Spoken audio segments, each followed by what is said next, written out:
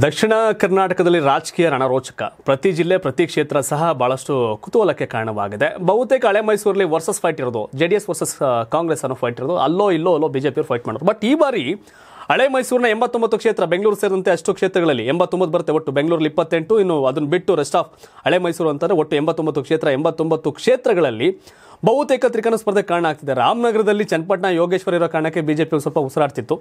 ಅದನ್ನ ಬಿಟ್ಟರೆ ಬೇರೆ ಕ್ಷೇತ್ರದಲ್ಲಿ ಠೇವಣಿ ಕೂಡ ಬರ್ತಿರಲಿಲ್ಲ.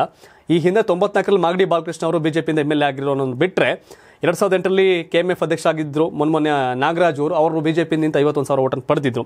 ಮಾಗಡಿಯಲ್ಲಿ ಬಿಜೆಪಿ ಬಲಿಷ್ಠವಾಗಿದೆ ಅಂದರೆ ತಪ್ಪಾಗೋದಿಲ್ಲ. ಯಾಕಂತಂದ್ರೆ ಬಿಜೆಪಿಗೆ ತೊಂಬತ್ನಾಲ್ಕರು ಚುನಾವಣೆಯಿಂದ ಸಹ ಅದಕ್ಕೆ ಜೀವ ತುಂಬಿರೋದು ಮಾಗಡಿ ಬಾಲಕೃಷ್ಣ ಅವರು. ಅವರೀಗ ಕಾಂಗ್ರೆಸ್ ಕ್ಯಾಂಡಿಡೇಟು ಜೆ ಡಿ ಎಸ್ಸಿಂದ ಮಂಜುನಾಥ್ ಕಂಟೆಸ್ಟ್ ಮಾಡ್ತಾರೆ.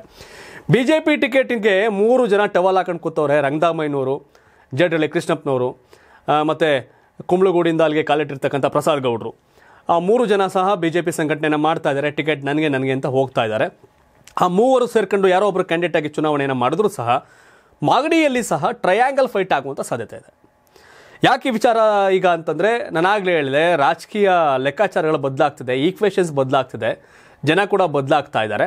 ಹಾಗೆ ನೋಡಿದ್ರೆ ರಾಮನಗರದ ನಾಲ್ಕು ವಿಧಾನಸಭಾ ಕ್ಷೇತ್ರಗಳಲ್ಲಿ ಕನಕಪುರದಲ್ಲಿ ಪಿ ಠೇವಣಿ ತಗೊಳುತ್ತೆ ಅನ್ನೋದು ಕೂಡ ನಂಬಕ್ಕೆ ಸಾಧ್ಯ ಇಲ್ಲ ಬಿಕಾಸ್ ಆಫ್ ಅಲ್ಲಿ ಠೇವಣಿ ಕೂಡ ಬರಲ್ಲ ಕನಕಪುರದಲ್ಲಿ. ಇನ್ನು ರಾಮನಗರ ವಿಚಾರಕ್ಕೆ ಬಂದಾಗ ಮರ್ಲಿಂಗೇಗೌಡರ ಮಗ ಗೌತಮ್ ಕಂಟೆಸ್ಟ್ ಮಾಡ್ತಾ ಇದ್ದಾರೆ. ಬಿ ಜೆ ಪಿಗೆ ಅಂತ ಅಲ್ಲೊಂದು ಇಪ್ಪತ್ತು ಇಪ್ಪತ್ತೈದು ಸಾವಿರ ಓಟ್ ಇದೆ. ಮರ್ಲಿಂಗೇಗೌಡರ ಮಗ ಗೌತಮ್ ಒಂದು ಸ್ವಲ್ಪ ಸಕ್ರಿಯವಾಗಿ ಓಡಾಡ್ತಿದ್ದಾರೆ. ಅವರ ಬೋರ್ಡ್ ಮೆಂಬರ್ ಚೇರ್ಮನ್ ಕೂಡ ಮಾಡಿದ್ದಾರೆ ಈಗ ಬಿಜೆಪಿಯವರು ಸೊ ರಾಮನಗರದಲ್ಲಿ ಈ ಸರಿ ಠೇವಣಿಯನ್ನು ಉಳಿಸ್ಕೋತಾರೆ. ಆ ಠೇವಣಿ ಉಳಿ ಉಳಿ ಬಿಜೆಪಿ ಠೇವಣಿ ಉಳಿದ್ರೆ ಇನ್ನೊಬ್ರು ಯಾರೋ ಸೋಲ್ತಾರೆ ಅಲ್ಲಿ ಕುಮಾರಸ್ವಾಮಿ ಅವರು ಕಳೆದ ಬಾರಿ ವಿಧಾನಸಭೆ ಚುನಾವಣೆಯಲ್ಲಿ ಗೆದ್ದಿರ್ತಕ್ಕಂಥದ್ದು ಇಪ್ಪತ್ತೊಂದು ಸಾವಿರ ಇಪ್ಪತ್ತೆರಡು ಸಾವಿರ ಮತ ಅಷ್ಟೇ ರಾಮನಗರದಲ್ಲಿ. ಸಾರ್ವತ್ರಿಕ ಚುನಾವಣೆ ಆದಾಗ. ಸೊ ಈ ಹಿನ್ನೆಲೆ ಅದನ್ನು ಹೊರತುಪಡಿಸಿದ್ರೆ ಮಾಗಡಿಯಲ್ಲಿ ಈಗ ತ್ರಿಕೋನ ಸ್ಪರ್ಧೆಗೆ ತಿರುಗುವಂಥ ಲಕ್ಷಣ ಗೋಚರ ಆಗ್ತಾ ಇದೆ. ನಾನಾಗಲೇ ಹೇಳಿದೆ ಕೆ ಜೆ ಪಿಯಿಂದ ಕಂಟೆಸ್ಟ್ ಮಾಡಿ ಜೇಡಳ್ಳಿ ಕೃಷ್ಣಪ್ಪ ಇಪ್ಪತ್ತೇಳು ಸಾವಿರ ಮತವನ್ನು ಪಡೆದಿರು, ಇಪ್ಪತ್ತೈದರಿಂದ ಇಪ್ಪತ್ತೇಳು ಸಾವಿರ ಮತವನ್ನು. ಹಾಗೆ ಪ್ರಸಾದ್ ಗೌಡ ಹಾಗೆ ರಂಗದಾಮಯ್ಯ ಜಡಳ್ಳಿ ಜಡಳಿ ಕೃಷ್ಣಪ್ಪ ಎಲ್ಲ ಸೇರ್ಕೊಂಡ್ರು ಅಲ್ಲಿ ಒಂದು ಐವತ್ತು ಸಾವಿರ ಮತವನ್ನು ಪಡಿಬೋದು. ಐವತ್ತು ಸಾವಿರ ಮತ. ಟ್ರಯಾಂಗಲ್ ಫೈಟ್ಗೆ ಏನಾದ್ರು ತಗೊಂಡು ಹೋಗಿ ನಿಲ್ಲಿಸಿದ್ರೆ ಚುನಾವಣೆಯನ್ನು ಅಂದರೆ ಇನ್ನೊಂದು ಸ್ವಲ್ಪ ಜಗ್ಸಿದ್ರೆ ಟ್ರಯಾಂಗಲ್ ಫೈಟ್ಗೆ ಕ್ಲಿಯರ್ ಕಟ್ಟಾಗಿ ಹೋಗುತ್ತೆ. ಈಗ ನಾನು ಗಂಡ್ಸ್ ಯಾರಪ್ಪ ಗಂಡ್ಸ್ ಯಾರಪ್ಪ ಅಂತಿದ್ರು, ಡಾಕ್ಟರ್ ಅಶ್ವತ್ಥನಾರಾಯಣ ಅವ್ರದೇ ಊರದು ಮಾಗಡಿ.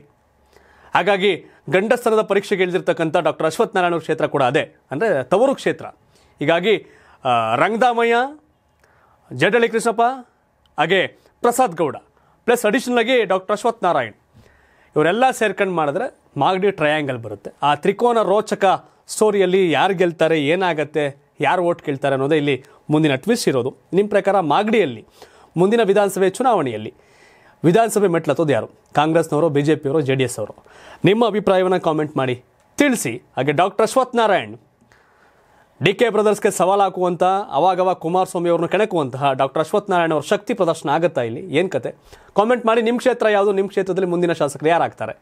ಮುಂದೆ ವಿಧಾನಸಭೆ ಚುನಾವಣೆಯಲ್ಲಿ ಯಾರು ಗೆಲ್ತಾರೆ? ಯಾರು ಅಧಿಕಾರಕ್ಕೆ ಬಂದರೆ ರಾಜ್ಯ ಉದ್ಧಾರ ಮಾಡ್ತಾರೆ. ಕಾಮೆಂಟ್ ಮಾಡಿ ತಿಳಿಸಿ. ಹಾಗೆ ನೀವು ಸಪೋರ್ಟ್ ಮಾಡಿ. ನಮ್ಮ ಚಾನಲ್ ಸಬ್ಸ್ಕ್ರೈಬ್ ಆಗೋದು ಮರಿಬೇಡಿ. ಸಬ್ಸ್ಕ್ರೈಬ್ ಮಾಡಿ. ಧನ್ಯವಾದ.